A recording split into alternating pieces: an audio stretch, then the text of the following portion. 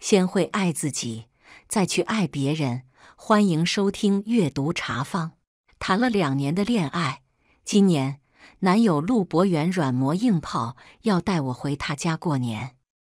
我爸妈听说要见家长，精心的帮我准备了礼物。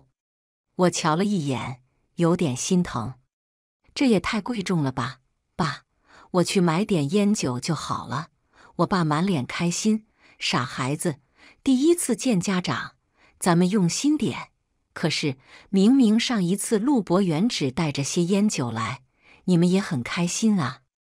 一路上，陆博远提前给我打预防针。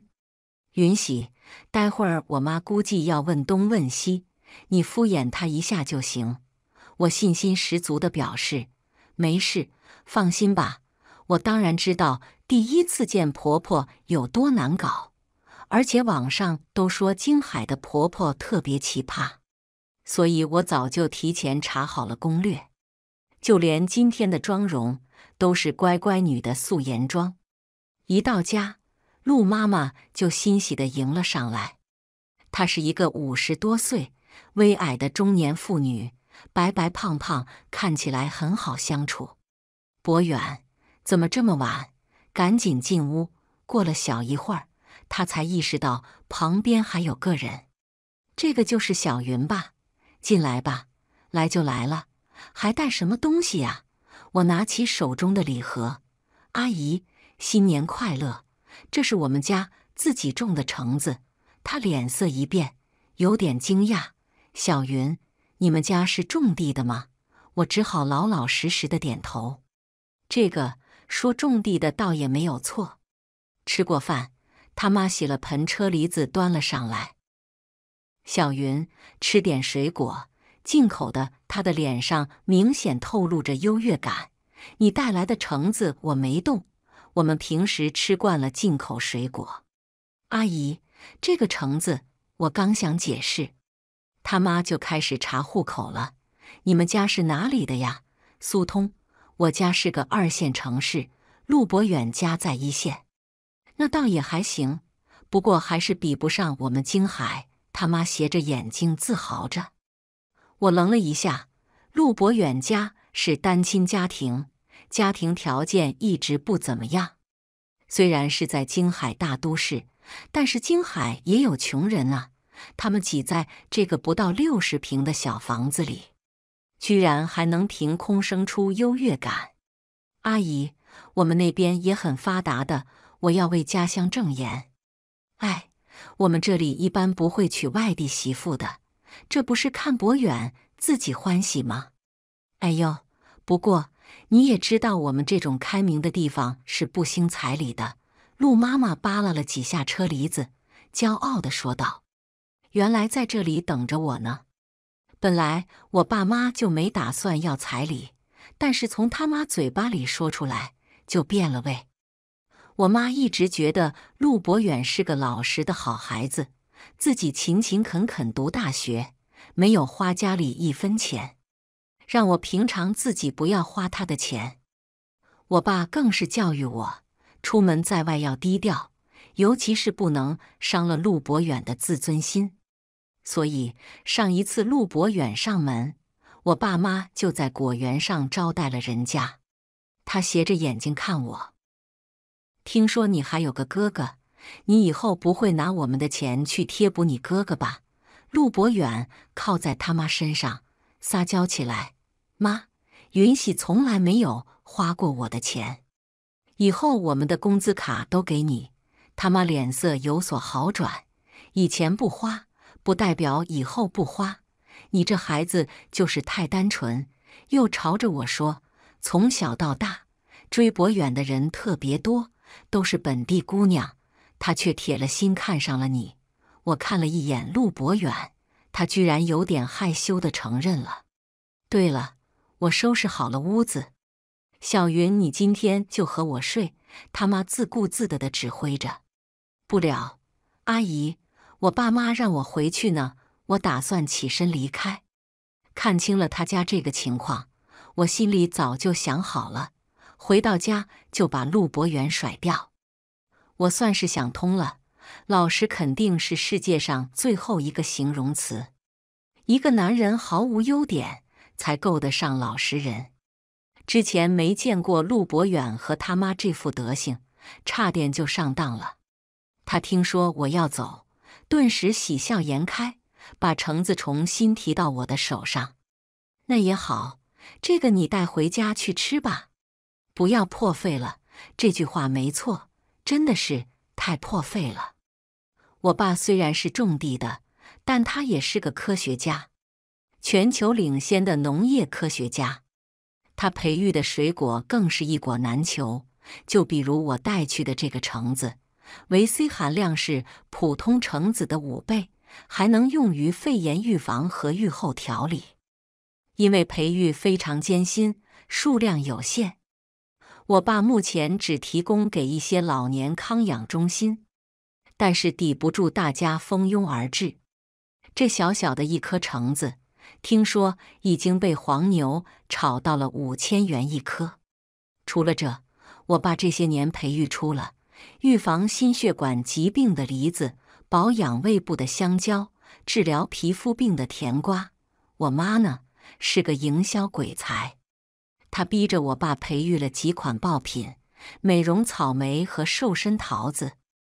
那些明星贵妇经常在咱家水果上市的时候疯抢，日韩那边的女星更是疯狂，直接打飞的在我家门口排队，一度冲击了日韩的整形行业。我爸从一个埋头苦干、常常经费不够用的苦逼农业科学家，一跃成为权威学术期刊的年度十大人物，并蝉联好几届。我妈则栖身财富榜 Top 五零，整天数钱数到手软。这不，她又想开拓欧美市场，派我哥驻扎在那边调研。我没敢回家，大过年的，我怕我爸妈知道了会气死。幸好在京海，我也有套房，市中心二百六十平的大平层，成了我的落脚处。当晚，陆博远再也没有发信息给我。我觉得他们家的意思已经显而易见了，那大家就心照不宣的分开吧。正想着，我听到大门处密码锁滴滴的声音，一个西装革履但身量挺拔的男人拿着行李箱出现在门口。哥，我吃惊的叫了出来：“你不是在欧洲吗？怎么回来了？你不是在苏通吗？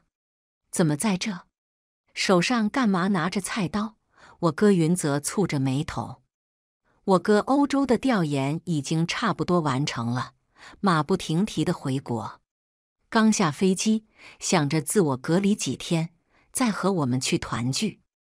我只好把事情和他说了，并央求他不要告诉爸妈，我丢不起这个人。胡闹！我哥生气了，好害怕，我最怕的就是他。爸妈一直和瓜果蔬菜打交道，是不是思维退化了？这种男人是怎么进得了他们的法眼的？还有你，我倒是想骂你，但是怕脏了我的嘴。他愤怒地拿起电话，立马拨通回苏通，把我爸妈狠狠地教育了一顿。哎，我们全家都怕他，所以我妈把他塞欧洲去了好几年。他走的那天。我们三个在机场抹泪送别，回到家就开了个庆功会。挂了电话之后，云泽盯着我的脸，恶狠狠地说道：“这段时间听我的安排去相亲，我有几个朋友倒是人模狗样的。阿别哥，其实我一点事都没有，分手而已，又不是没分过。我吓到遁走，我又不需要治疗情伤。”搞什么相亲啊？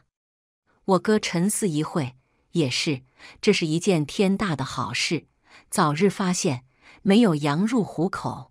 我妈偷偷给我发信息：“乖乖，明天回来吧。”过了一回，又来了一条信息：“让你哥自己在那边隔离。”第二天，我哥非得拽着我吃完中饭，再放我回家。然后我看到邻桌上熟悉的身影，陆博远和他妈。对面是一对笑意盈盈的母女。这场景大概就是在相亲了，好神速！昨天刚领我见完家长，今天就安排上了。看样子蓄谋已久了。他妈也看到了我，瞬间变了表情。你跟踪我们？我哥眼神询问了下，我无奈地点了点头。我赶紧摁住他要丢筷子的手，压低声音：“哥，我自己能处理。”陆博远看到我们的肢体接触，神色一沉：“允喜，想不到你这么自甘堕落。”立马找了个小白脸：“你昨晚就和他在一起的吗？”我看了下我哥，穿着卫衣球鞋，看起来果然青春靓丽。我哥也差点笑场，他挑衅着：“没错，大爷，你很有自知之明，你长得确实颠沛流离。”陆博远拳头握紧，他妈嘬着筷子不淡定了。你们外地人就是不自爱，之前赖着我们家博远就是为了户口吧？他们对面那个微胖矮小的女生开口问道：“博远哥哥，他是谁呀？”陆博远瞥了我一眼，之前喜欢我的女生，很好，我变成了一厢情愿，也不知道是谁，当初凌晨十二点。给我送夜宵，也不知道是谁，每天起个大早帮我和室友占位。要不是他当舔狗尽心尽职，我会看上这种男人。不过现在，我觉得多看他一眼都恶心。我屏蔽他们，安心吃饭。他妈尖细的声音还是不断传来，对我们博远死缠烂打了很久。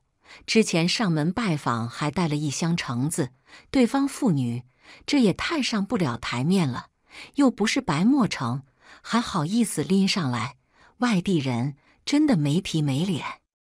我让他跟我睡，博远自己一个住一屋，他还不愿意。陆博远打断他：“妈，你别说了。”他妈吧唧着嘴：“我跟你说，以后好好对琳琳，大家都是京海人。”知根知底的，对面的微胖女孩有些害羞。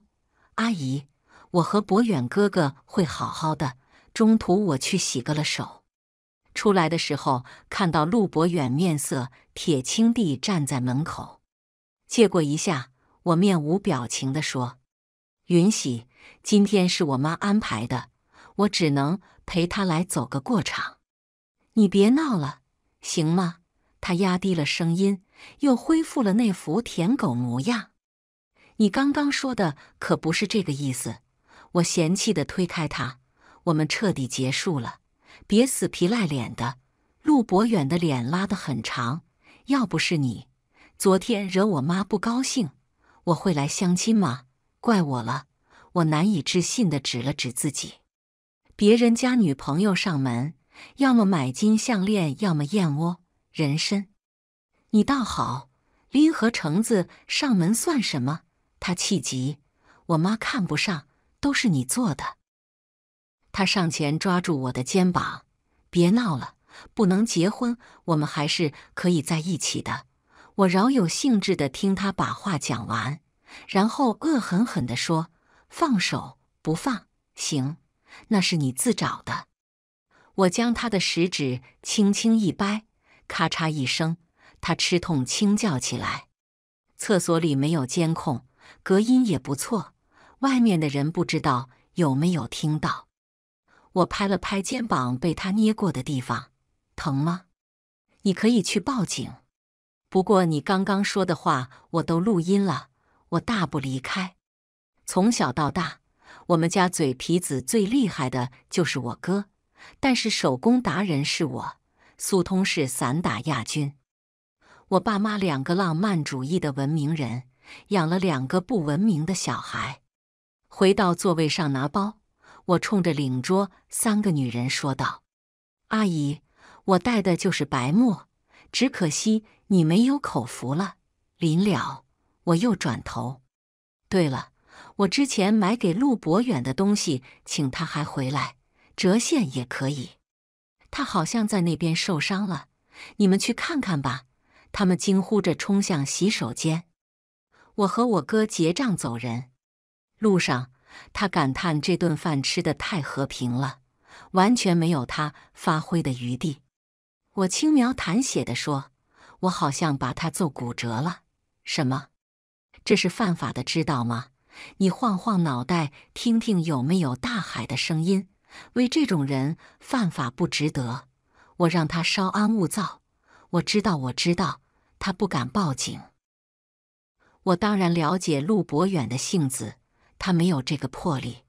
回到老家，我爸依偎在我的怀里哭个不停。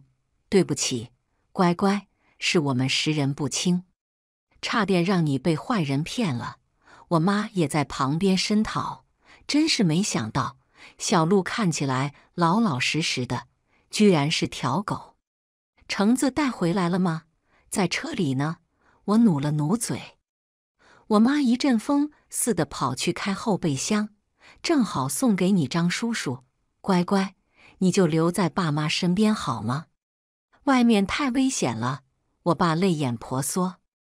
我刚培育了一种治疗脱发的西梅，绝对能火。爸，我也想啊，但是我妈把我发配京海分公司了。我妈觉得我在那边上学，自然对京海熟悉一点。让我为家里做点贡献。陆博远居然给我发微信：“你带的真是白墨橙吗？”我没搭理他，转手给他发了一封清单，是我买给他的一些贵重礼物。那些低于两千的我就没列，但是手机一万二，一双 AJ 球鞋五千六，西装九千五，我粗略一拉，账单就有五万三。我心疼他没钱，毕竟上大学的助学贷款他都没有还清，所以交往期间，我基本上把所有的开销都包了，就连他刚毕业去面试工作，扭扭捏捏想买西装，我都二话不说直接送了他一套当礼物。想不到还是喂不熟这个白眼狼，既然他给我定义只是一个喜欢他的路人。那就把本路人的钱吐出来。账单发过去之后，陆博远迟迟没有回复。我想了一下，没有把他拉黑，毕竟我还要等他还债呢。过了年，我妈火速把我哥发配非洲，而我立马导航到京海。我爸乖乖的蹲进实验室。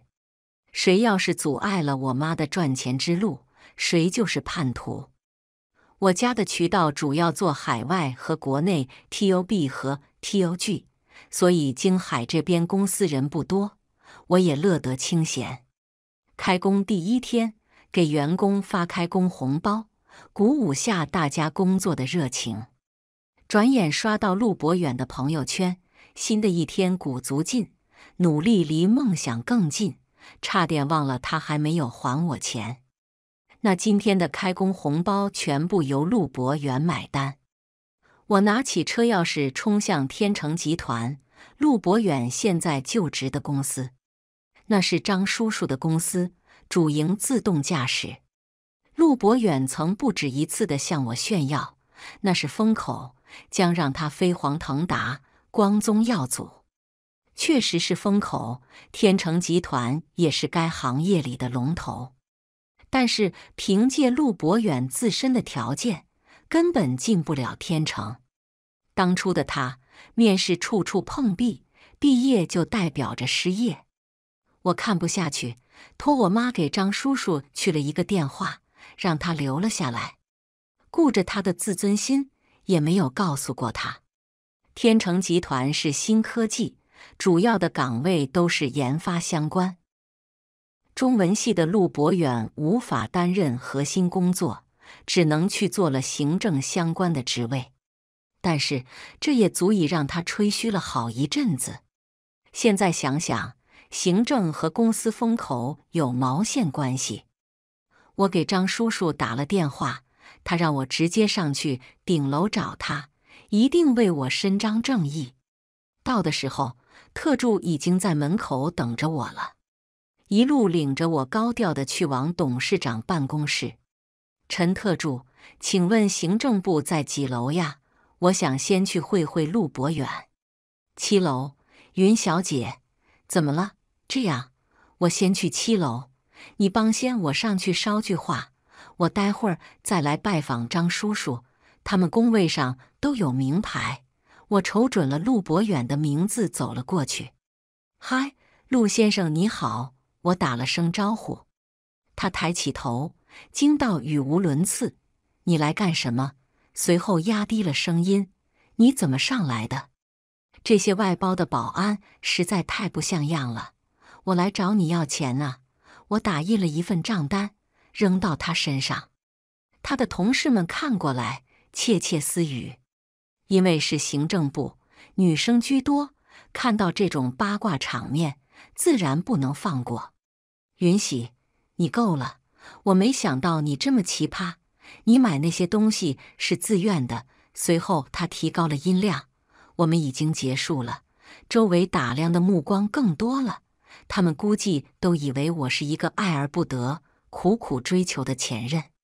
一个领导模样的女人走了过来。陆博远像是找到了救星，方经理，我这就让保安赶他出去。被叫方经理的人点了点头，随后朝着我说道。这位小姐，请不要影响我们工作。我犟着，只要陆博远还钱，我一秒就走。是他不给钱，影响大家的工作。方经理的眼神狠狠刮了一下陆博远，问我什么钱。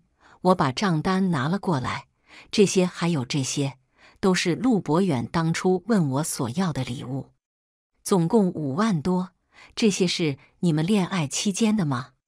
分手了就要拿回，这样不太好吧？小姐，方经理满脸嫌弃，还挺护短的。他的其他同事也在嘀嘀咕咕。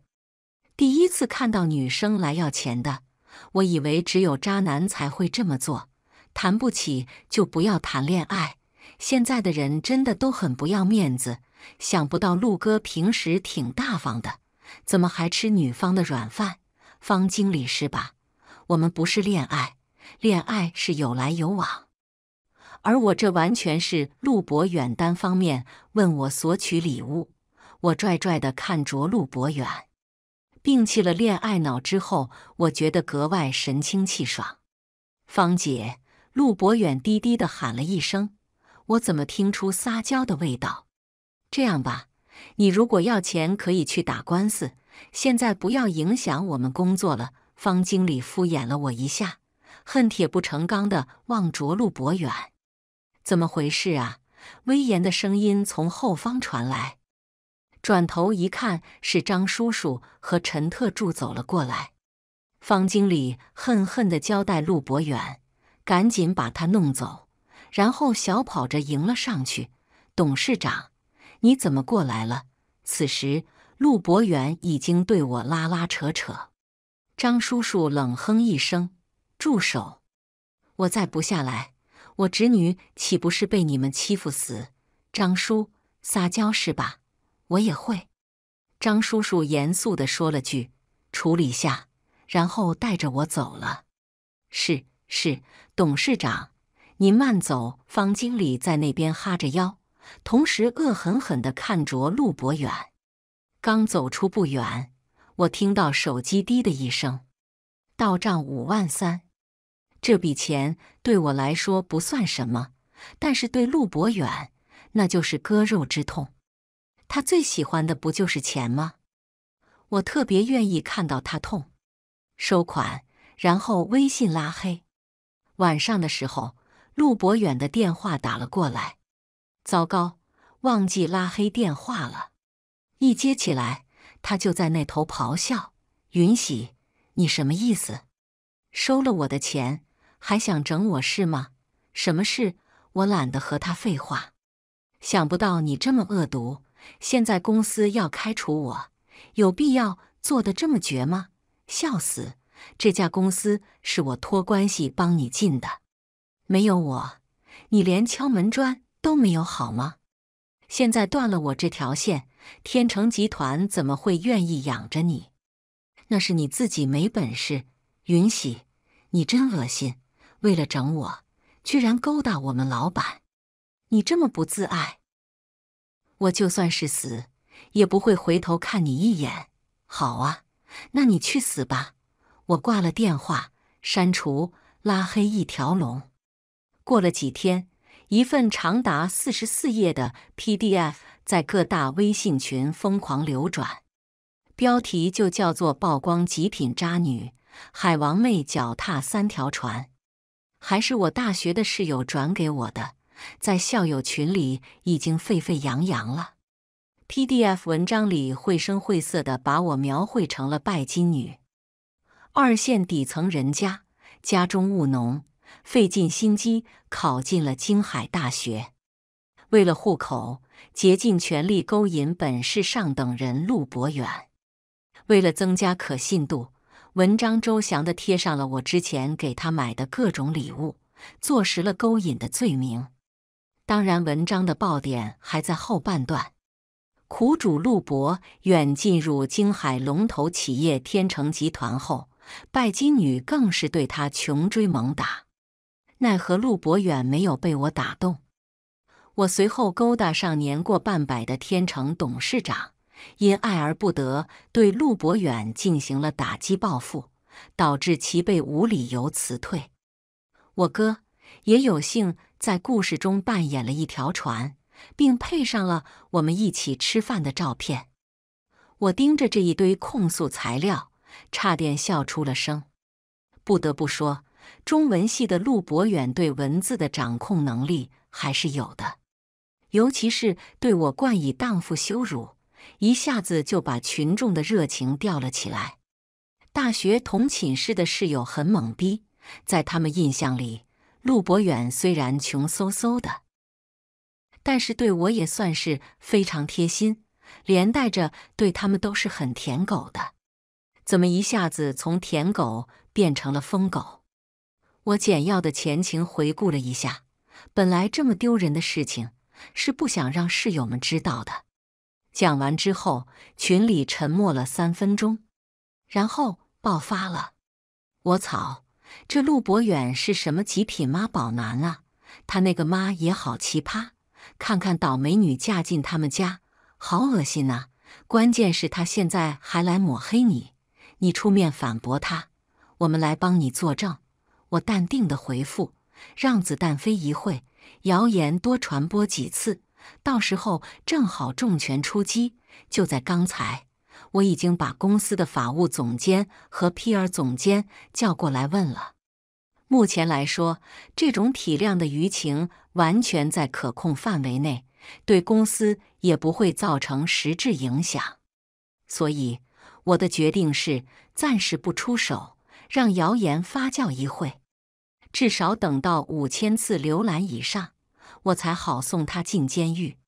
随后，我的一个室友发现了滑点：云喜，你居然买得到白墨橙。我奶奶之前得了肺炎，没有完全痊愈，你还有途径买到吗？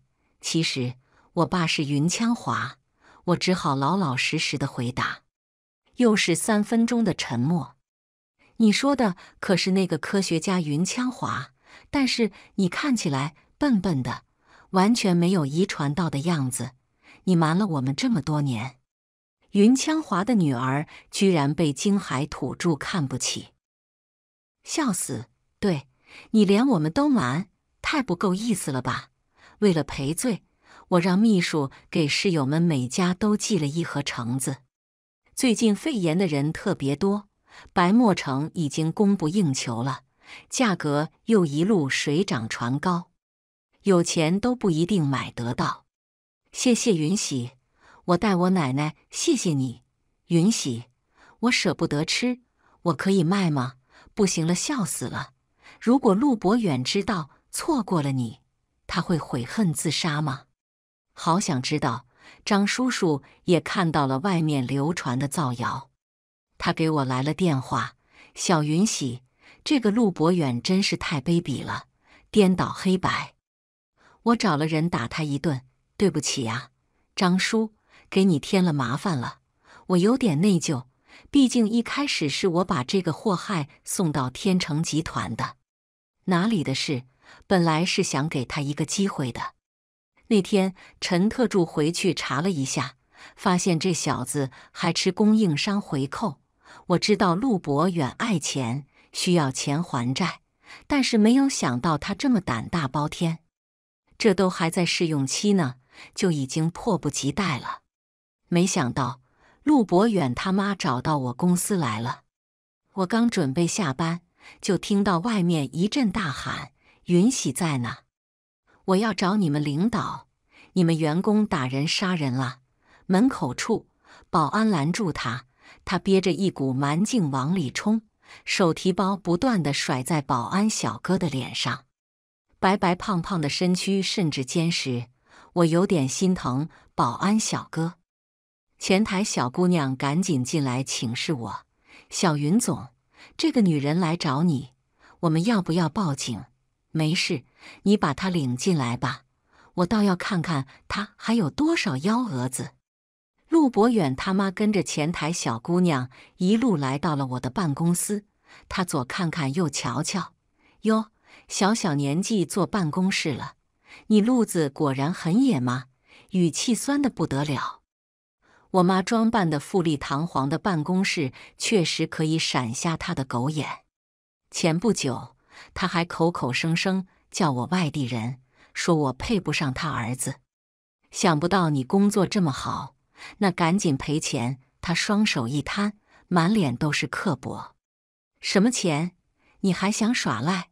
博远被打了，是不是你干的？哦，原来是这个事情。看样子张叔叔气得不轻啊。不好意思，这位女士，我不清楚你在说什么。我按了下电话按钮，叫徐律进来。他像一只充满斗志的母鸡。你不敢认，和我们博远结仇的只有你。这个贱人不仅害他丢了工作，还害他进医院。一百万赔钱，不然我们报警了。徐律推门而入，这位女士，你涉嫌敲诈勒索，我们有权保留追究你刑事责任的权利。你算什么东西？我要找你们领导，这不是云枪华的公司吗？我看他到底管不管员工。陆博远他妈是撒泼的一把好手，说话间已经坐在地上了。云喜，你贱不贱呐？我儿子不要你，你就找人打他。这种人，你们公司必须开除，赔我儿子的医疗费。不然，你今天别想走。声音动静有点大，我怕影响了员工工作。徐律秒懂，把保安请了进来。还是刚刚那个保安小哥，他恭敬地给我敬了一个礼。小云总。让你受惊了，我这就把他带出去。陆博远他妈还在挣扎，抱着门框不愿意走，大喊：“不要碰我！我告你非礼！”死看门的，我要找云枪华，你们把他叫来。我走过去，盯着他的脸，他被我看得有毛骨悚然。我说：“你找云枪华没用，你看我姓什么？”保安，丢出去！我拍了拍保安的肩膀，看到他脖子上被老阿姨抓到的痕迹。今天辛苦了，去财务处领奖金吧。当夜，我收到一条陌生的短信：“云喜，对不起，我不知道我妈去你那边闹了。你最近还好吗？”我随后拉黑，转头继续看电视节目。电视上是我爸在参加一个医学论坛。分享白墨城的培育原理，一旁的众多医学老大纷纷论证白墨对肺炎的积极预后作用。我爸一脸自豪地表示，白墨会优先供给国内，首先大批量进入社区医院，由社区医院进行分发，在很大程度上规避黄牛囤货的可能性。周末我猫在家里看剧。顺便叫了小龙虾外卖。家里的阿姨只会做清淡的菜系，我对小龙虾已经渴望了很久了。电话响起，是徐律、小云总。之前造谣事件的取证已经完成，我们对相关证据做了公证。除了发帖人，一些散播谣言的网友，我们也可以一起告了。好，那等我这段时间忙完就开稿吧。不得不说，徐律真敬业，这大周末的还想着工作。我料想陆博远也该出院了，那就可以出庭了。短短一个月。丢了工作，进了医院，现在还要上法庭，他的人生可真精彩。正想着，门铃声响起，我一跃而起去迎接我的小龙虾。门一开，居然是阴着脸的陆博远。有事，他企图推门而入，我抵着门不让他进，心想待会儿一定要好好投诉物业。交着全市最贵的物业费，居然把杂七杂八的人给我放了进来。云喜，你住在这，这个答案其实他早就知道了吧？但是真真实实看到我的时候，还是露出了些许惊喜。你贵干，我冷冷回道：“我可以进去说吗？”他哀求着。我看着眼前的陆博远，胡子拉碴，身上的衣服似乎还有油渍。和学校里判如两人。先前的陆博远一直保持着清清爽爽，就算是几年前的衣服，也会洗到发白发亮，整个人充满着贫穷公子的忧郁气质。我依旧死死抵住门，皱着眉头。他看我逐渐不耐烦，开口说道：“我妈得了肺炎，现在一直发烧咳嗽，没有好转。”我买不到你家的橙子，想找你买一个，婉拒了哈。顿了一下，我轻蔑地嘲笑道：“之前你妈不是把一整箱橙子拒之门外吗？现在多喝热水就好了。我家的橙子你们不配吃。”允喜，你不要生气了。他温柔地劝解着：“都是我妈不好，真是笑到我了。我对你是真心的。”我们两年多的感情，不是说没就没的。我们重新开始好吗？我的心情有点复杂，思索着自己做了什么事情，让他觉得我们之间还有余地。不好，你和你妈过一辈子吧。我说着要把门合上。我们和好，让我妈一个人生活，我可以入赘。真的，我可以跟你去苏通生活。他急吼吼地表忠心。医生不是说他伤了肋骨吗？怎么把脑子也伤了？陆先生，请你离开，不然我要报警了。他突然发了狂，像一只愤怒的白斩鸡，把我的门踹开，堂而皇之的进到我的房子里。你到底还要我怎么样？我妈也同意我们在一起了。你之前一直欺骗我，是怕我图你们家钱吗？他甚至有点感觉自尊心受伤。我笑着把门合上，这可是你自找的。没想到陆博远降至到这个份上，我狠狠地踢了他的小腿。他站立不稳，跪在我家地毯上。嗯，这可是我妈最喜欢的地毯，真脏。云喜，你想干什么？又想打人吗？他想起了之前被我咬断手指的回忆，开始惊恐。我掰了下自己的手指，骨节处发出嘎达的响声。你开什么玩笑？你入室不轨，我只是正当自卫而已。我妈一直严禁我和男生打架，说什么就算练了散打，但是男女力量悬殊，怕我吃亏。但是陆博远我不怕。柔弱的白斩鸡，我瞅准他的大腿，猛踹一脚，他的惨叫声响起。云喜，你这个女流氓！我打开房门，跑出了门，在走廊里梨花带雨大喊：“有人吗？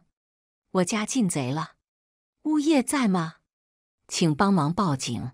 警察出来调解的时候，陆博远一直强调我们是情侣关系。并不存在入室抢劫的事情。小警察一副看透了剧情的样子，随后对着陆博远凶狠道：“男女朋友也不能纠缠啊！真是丢我们男人的脸！”陆博远老老实实的受训，脸上一阵青一阵白，小声嘟囔着说：“分手了。”警察温和的询问我：“家里有丢什么东西吗？”我轻点了一下：“没有。”那我们只能把他教育一顿，大家调解下好了。我同意了。姓名：陆博远，年龄：二十五岁，籍贯：京海市。小警察抬头看了他一眼：“小伙子，我也是京海人，你这样很丢我们的脸。”我忍不住扑哧一声笑了。他们引以为豪的京海市，这就把他名誉开除了。警察同志，我要告他，他刚刚打我。陆博远突然攀咬我，你们不是男女朋友吗？情感纠纷也要报警吗？就这么浪费我们警力？小警察头也不抬，居然还被女人打，真是丢我们男人的脸。陆博远被请出家门的时候，不死心的喊：“允喜，你做的这么绝。”我们这辈子再也没可能了，求之不得。你这种女人，算我瞎了眼。果然，再有钱也是外地人。他啐了一口，骂骂咧咧的走了。一个人有可能会因为自己的学识、才华、财富、成就等感到自豪，但是扒着出生的拼命自豪的人，到底是什么逻辑呢？我内心甚至有点心疼他们。我打了个电话给徐律，积极地说：“徐律，周一就开稿吧。”小云总，你怎么了？发生了什么事？我突然的提速也让徐律措手不及。既然陆博远已经找上门来了，我料想他不会罢休。为了彻底甩掉这块狗皮膏药，那我就只能加速把他送进监狱。眼不见为净。陆博远怎么也没想到，下一次和我的碰面是在庭审上。我以侵害公民名誉权、隐私权将他告上了法庭，因为证据确凿，且影响严重，被判刑一年。然而，陆博远当庭辩称，自己仅仅写了内容，作为鞭策自己的回忆录，并未将内容进行传播。传播账号的拥有者是他的母亲刘群芳，笑死了。在听审席上的刘群芳完全没有想到他的好大儿有这招，不敢置信的停了一下，懵逼过后坐在地上哭丧，大喊着：“陆博远，你这个混蛋，和你那个天杀的老爹一个德行，你还有良心吗？”我为了你起早贪黑供你去读书，不是你要惩治这个贱人的吗？你现在甩锅给我，你不得好死！法官不得已休庭，并出动了法警。最后查明，确实是刘群芳所属账号第一次在小区群里进行转发。陆博远无罪释放，我方重新将刘群芳诉上法庭。这一次他没有吵闹，估计是对陆博远深深绝望了，乖乖喜提了监狱套餐。不出半年，陆博远在朋友圈发布自己的结婚照，他妈还在吃牢饭呢，居然就迫不及待的结婚了。他邀请了大学的几个朋友圈参加婚礼，很多人知道他曾经的闹剧，纷纷表示没空耶，太远了。不是本人。听说陆博远有点气急败坏，告诫大家人可以不去，但是红包必须到。没有人再惯着他的臭毛病，他只能静静的躺在大家的黑名单。大学同学过来和我八卦。天哪！那个陆博远听说找了个有钱女的，还想让我们随份子啊？不可能吧？有钱人看上他什么呀？你们真的不知道吗？我们一个区的那个女的怀孕了，但是不是陆博远的？哈哈哈哈！陆博远贪图人家的房子，就巴巴的同意了。听说那个女的还有暴力倾向，之前男朋友就是因为这个分手的，怪不得我有次接诊，陆博远被打得跟猪头一样，头皮都被磕掉一块。大家的语气嘲讽中带着可怜，不过都与我无关了。我看着眼前一堆合同，是英国政府和我们的西梅合作项目。我爸的脱发西梅又成功了，火速让助理订了机票，明天飞英国。我们可是很忙的农民，